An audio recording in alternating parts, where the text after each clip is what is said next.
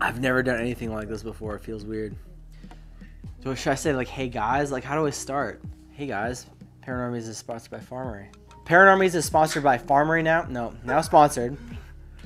Just cracking beers back here. Paranormies is now sponsored by Farmeries. Guys, if you live in Manitoba, Saskatchewan, or Why'd you say Alberta, skies? huh? Why'd you say skies? What? I didn't say that. Yeah, you did. No, I didn't. It's now sponsored by Farmery Skies. No, I did not say that. I promise you, and I'm putting it in the video. That's not it. It's Round two. No, okay, I'll do it again because he fuck, he fucked me over on that one. Paranormies is now sponsored by Farmery. Guys, if you live in Manitoba, Saskatchewan, or Alberta, pick some of these up over the summer. They're great. They have all kinds of crazy drinks. Oh, what the hell was that? I have They have all kinds no. of crazy drinks, man. It's crazy out there. What was that? Oh, I need to crack this thing already. Now just no, They got crazy awesome summer drinks. Gotcha. Enjoy the video.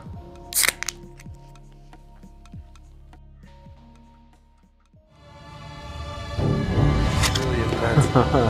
if anybody's coming, like, oh man, it's just freaky. It's like, it's just, like something, like, oh, graveyards, man.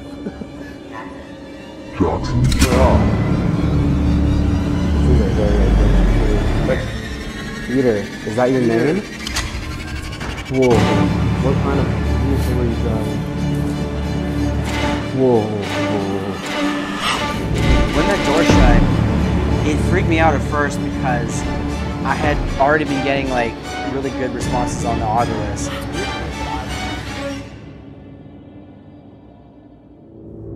After asking the spirit at Union Point Church over and over again what its name was, it finally gave us a name through our Ovilus, not once but twice. It said Peter.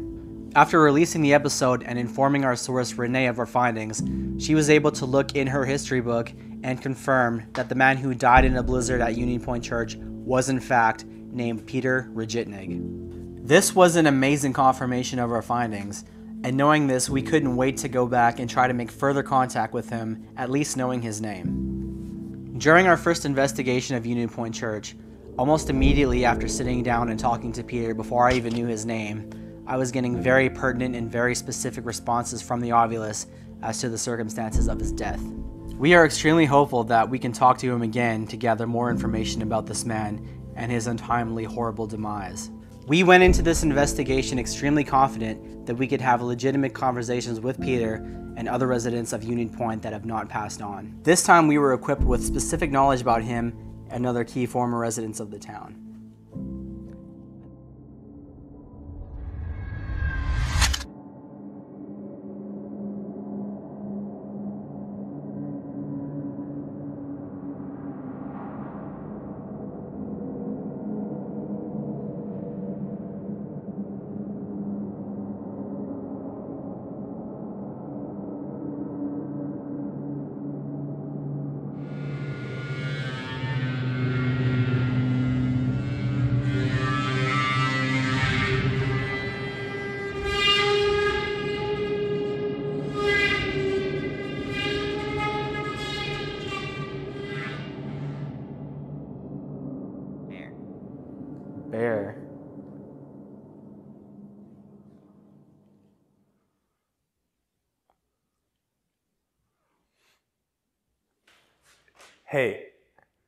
Didn't we see a bear the night we were doing the dialogue for this? That's the night. Was that we the s- night? That was the night when we saw the bear. Really? Yeah. That's a weird coincidence. For Right. anybody that doesn't know, uh, when we filmed dialogue, we filmed about 40 minutes away, and on our way back from filming dialogue for this one, we saw a bear in the Yeah. Marchand Bar parking lot. We tried ch- chasing it down with the car. Yeah, so that's a little bit weird. Dan. Dan. Dan? Yeah.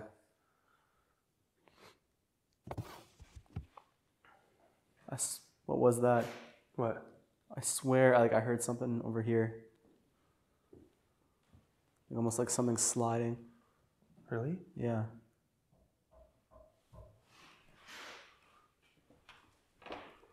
Peter, Did you hear that? I was three, three knocks.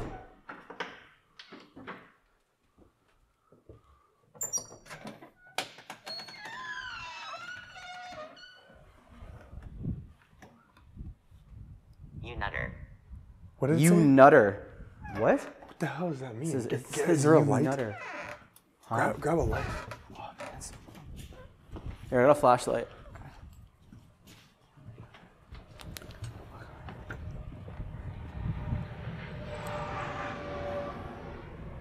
What does this mean? You nutter. I have no idea. Is that just gibberish or is that like Above. above? It said above. Remember we heard. Like, Yeah, we heard noises something in there. Shine it up there. We didn't get a whole lot of activity on the early part of the night, but one really weird thing that happened was that we were hearing all kinds of noises up in the ceiling, and after we heard some knocking in the entrance, the word above came through the ovilus, and we took it as that something might have wanted us to go up into the bell tower. Well, Remember, it want, sounded like somebody was co- like it sounded like somebody was on the roof before. yeah. Well, Party. Let's get inside because I. It's probably making our if mics it wants go us to go above, there's no chance. Well, we can't get up in there either. Could you imagine? That was clear. Now it's going nuts. Sadness, yeah. Now it's really picking up. Sadness. Yeah, sadness if if you passed away here, right? Yeah. Is that what you're feeling? Are you feeling sadness? We didn't feel like we were able to contact Peter on this particular night because we weren't getting any of the same type of responses that might indicate we were speaking with the same spirit as last time. So we decided to move on to try to contact the second of three spirits that we came to talk to on this particular night. And the second of three spirits was Alexander Jackson. Our first investigation here, a name came through our Ovilus, which turned out to be one of the best responses we've ever gotten.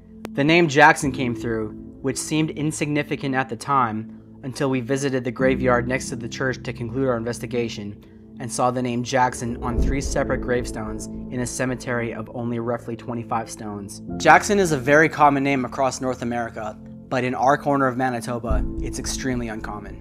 We looked into the history books and found information about a man named Alexander Jackson, who was among the first to settle Union Point. Alex Jackson was originally from Perth, Ontario, and after working on the Canadian railways for many years, all the way from Ontario to the Rocky Mountains in British Columbia, he married his wife Alice in Richmond, Ontario in 1888. The Jacksons then made their way to Union Point, Manitoba in late 1889, where they began to farm the surrounding land. They had six children named Elizabeth, James, George, Harriet, Mary, and Mabel. Alex and Alice Jackson celebrated their 50th wedding anniversary at Union Point Church and lived in Union Point until they died. The Jackson family is now buried in the cemetery outside of Union Point Church.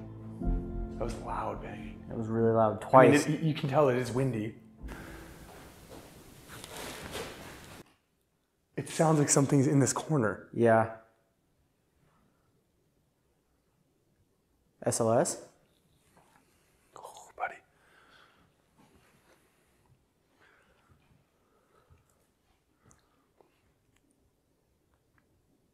If you're in that corner, Peter, let us know now. Because we're about to see you if you are. Do you hear something? I think it's my imagination on that one. Shine a flashlight there. What about the window? Does it pick anything up in the window this time? No. No. No.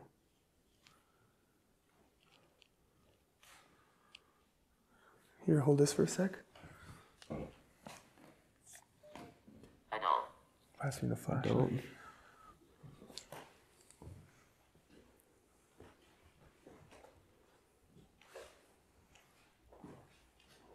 Not picking anything up this time. It's picking you up. What about by the door? Holy shit, I thought I saw something in that window. That window.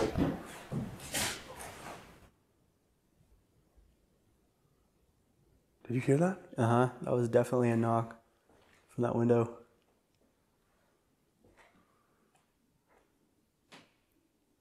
That's like the hugest area I've ever seen it autofocus. What's going on here? Oh, okay, never mind. Wow. Oh, it's okay. So it is picking up that big thing. So that obviously, for some reason, it picks that up.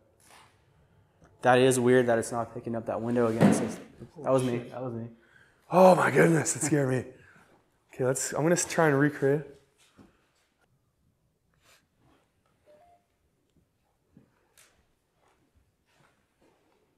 Oh my God! There it is. He's there. He's right in There he between. is. Peter, if that's you, can you make a no- noise from that door? That's where the knocking was coming. Yeah. And then gone. Gone. That's insane, dude. That was me. Why did it say Africa? You think that It's totally sometimes they just they just give you nonsense words just to mess with you? Just mess with Like, mess I with can't make it. What the hell? Notice. We did notice you. It's not doing it at all. Oh no! It's the autofocusing like by the pew. You got anything over there? No. No. Here, no. Seeing the figure in the front entrance between the two doors was probably one of the craziest things that we caught on the SLS camera ever, um, and that's mostly because that's where all the activity was coming the first night that we stay, uh, we were at the Union Point Church, and it's also where most of the activity was coming the second time as well. I just literally felt the building nonstop. move.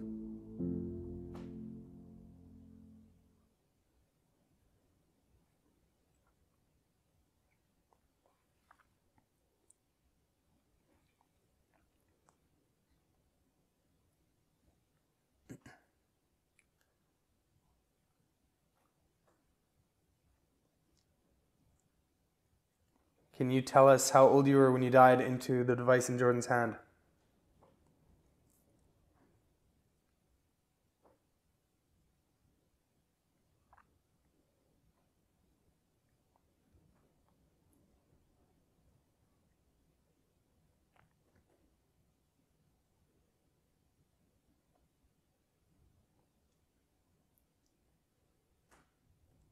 Anyone Okay. from the Jackson family, can you tell me why you're still here? Are you looking after the farmlands?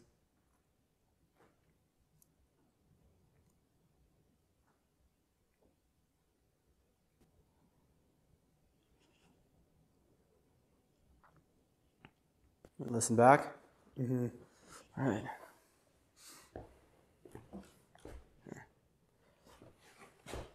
I didn't get anything on the K2. I just felt the building move.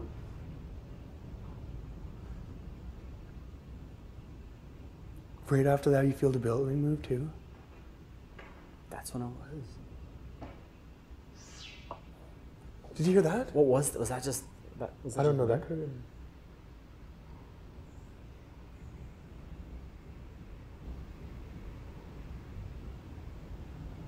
Can you tell us how old you were when you died into the device in Jordan's hand? I just thought the building moved. I just thought the building move. You're in the wrong spot. No, There there, it it is. was. What is that? What is?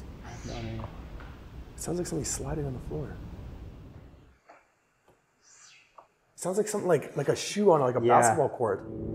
The night seemed to change when we began to try to contact the third spirit of the night. Looking further through the history book, we found an interesting story about a Union Point resident named Jack Krafchenko. Jack was convicted of murdering a bank manager in Plum Coulee, Manitoba in 1913. After he was convicted, he escaped his jail cell, most likely because his lawyer, a man named Percy Hagel, smuggled a rope and pistol in during a visit. However, his escape was short lived.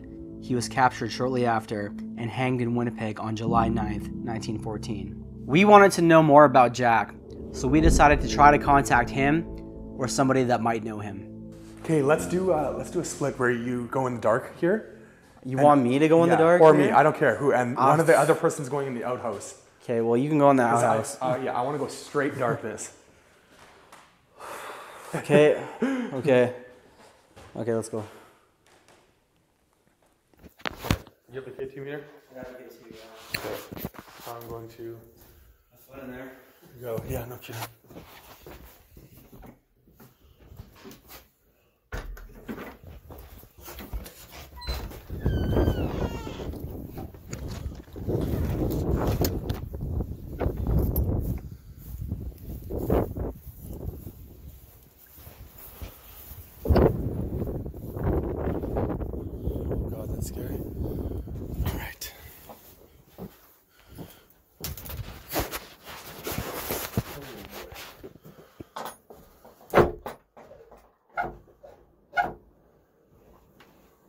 Okay. Get that going. And I shut the light off. I never know how to shut this light off. It's not that one. Okay, here we go.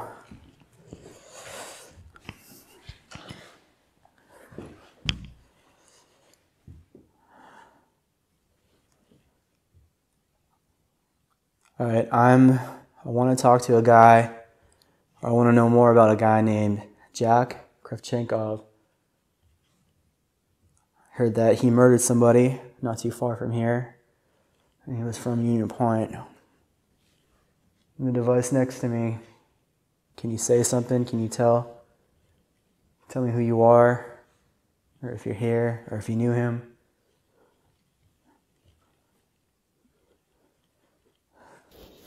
Is there anybody in here with me?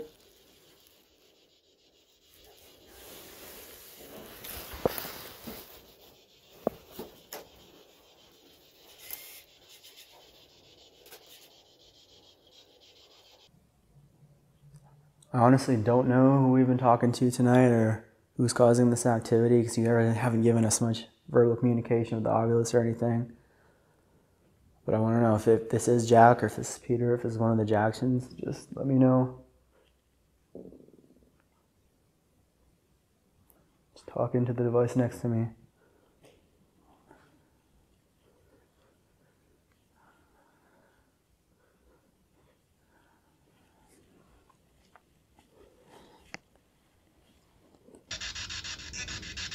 Evil. Pete?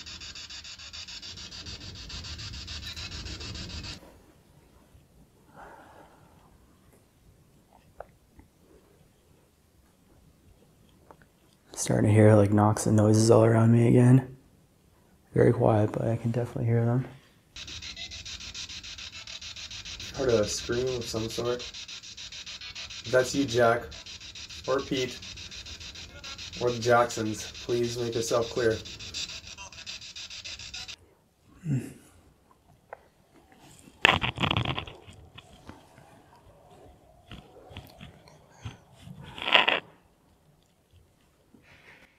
Oh, the door. Oh my god.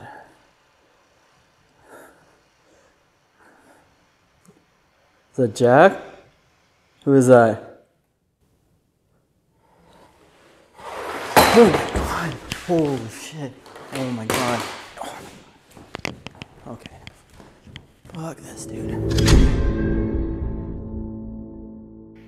Oh, the door. My God.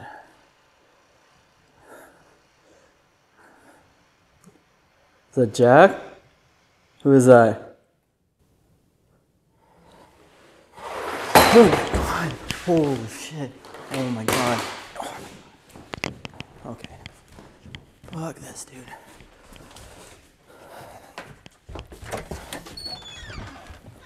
Oh my God. so. Joy! Fuck. Oh my god, he's fucking locked in. Open it. Dude, the fucking the fucking tripod just came flying at me. It was locked. Why were you locked in?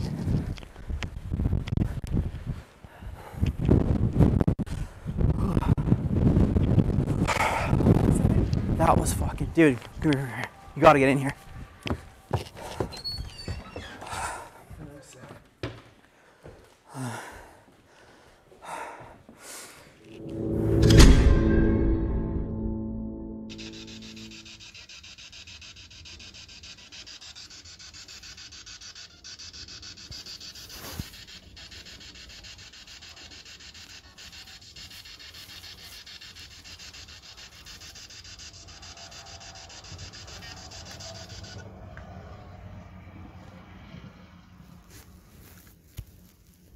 Thought I heard something.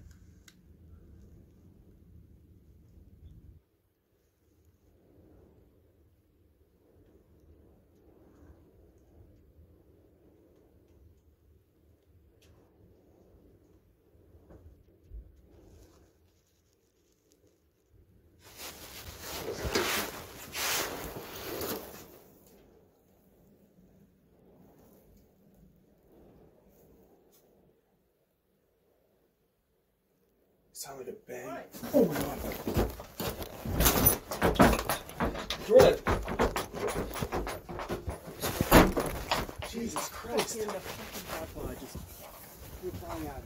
We locked. Was I locked in there? It was locked. How are you locked in?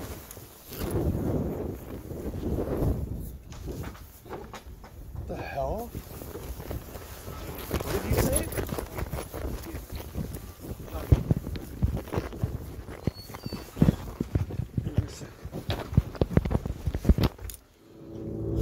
I was sitting there in the dark and I heard the door start creaking open behind me. And I thought that Johnny may have just been walking back into the church, but when I turned around, I didn't see him, which was already, that was terrifying enough. But when the tripod just came flying at me, that was, that was sheer, I just felt sheer terror in that moment. And if you watch the footage again, you will see our K2 meter, which is it's leaned up against our light on the on the stage or whatever of the church. It falls over after the tripod flies comes flying at me and after I take a few steps back.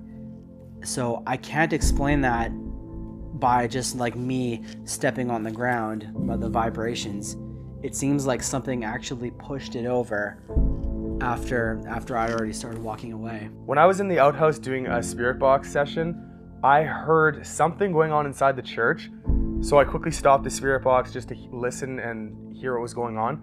And shortly after that, Jordan was outside the outhouse yelling my name, which freaked me out. But then I realized that I was locked in the bathroom. I tried breaking out of there. And I personally thought that it was possible that the wind would have knocked the little wooden lock down. But Jordan said that it was super hard to unlock it, so then I was really unsure what was going on. Alright, slide on.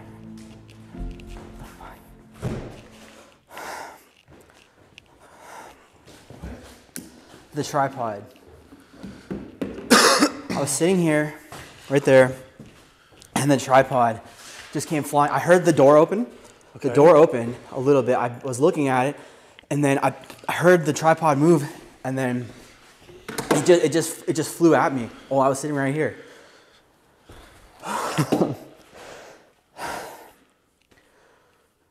Put the K2 next to it. I gotta see that, man. Hmm. Uh, I'll show you. I caught it on camera.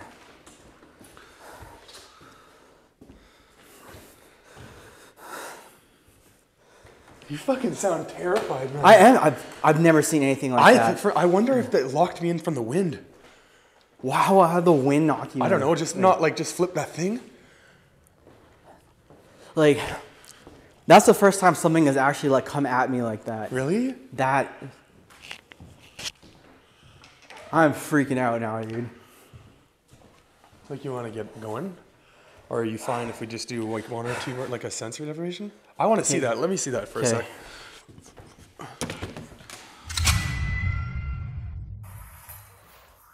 Oh my god, dude! Yeah. Yeah, I would have bailed too. That is fucking crazy. Wait, I want to see me too. It's locked? It was. I didn't even realize. Like, I was just. I didn't, didn't understand why you couldn't get out.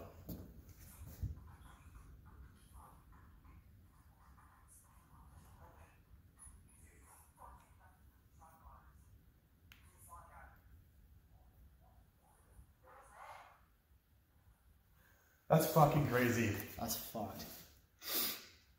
Oh, my.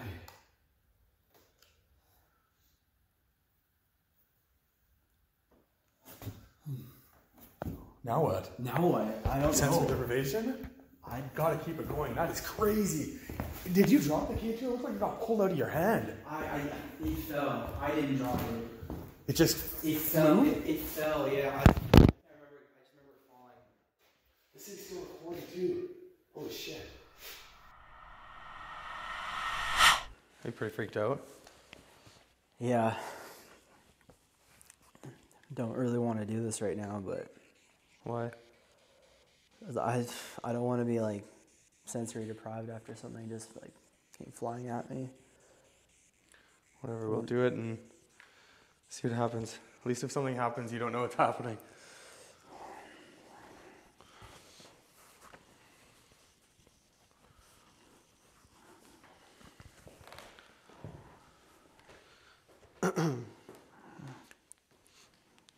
So I want to try and talk to Peter or Jack or any of the Jacksons.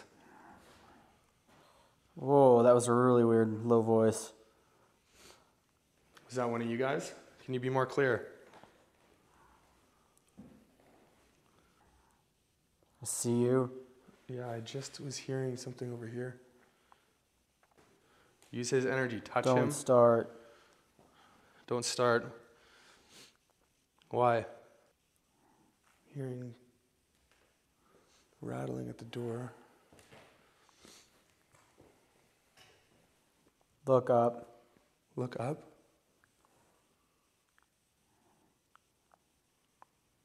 What, what, what is with up? Why do you keep saying up? I keep hearing rattling. Like it is coming from upstairs. Victoria. Oh my god. What is going on?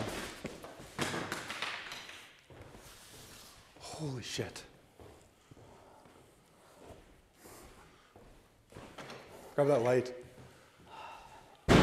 Oh my god.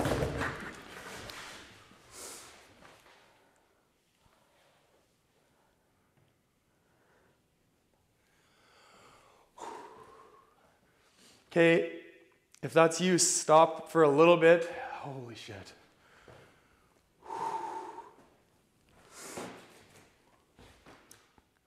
I just hang on. I just need to get my bearings straight, man. That is crazy.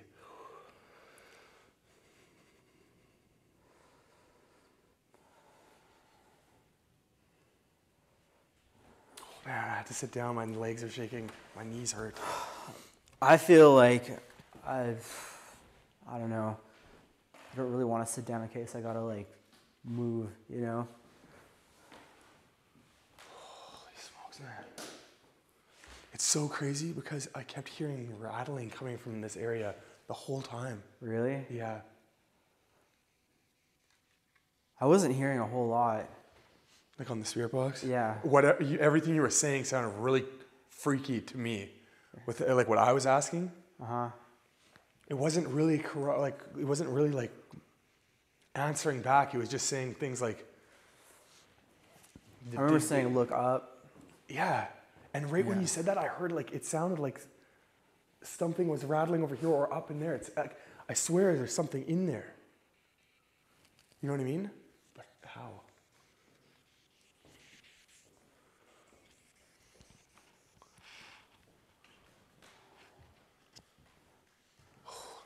Maybe you shouldn't go back in.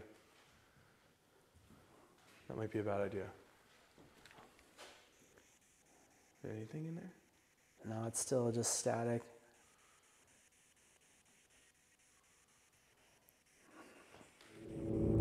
While Jordan was in his sensory deprivation, I heard movement kind of all over the place, but wasn't really too worried about it, except for the same rattling that I was hearing from the door um, pretty much the entire time. It just, every now and then, it would draw my attention to it, just hearing rattling from, it sounded like the door was moving back and forth on the door frame. When I was in the sensory deprivation, I didn't really get a whole lot. I wasn't hearing a lot on the spirit box. But like suddenly I just like heard a loud commotion in the front and immediately I just jumped up and I took I took the headphones out and I saw Johnny running towards me. I was running towards Jordan because I heard like three loud knocks, which we had heard a couple other knocks that sounded similar during the night, but these ones were really loud and they were coming from the front door. And immediately after that, I told Jordan to grab the light to come see what was going on here. And then we heard a huge bang that almost sounded like somebody was kicking one of the pews.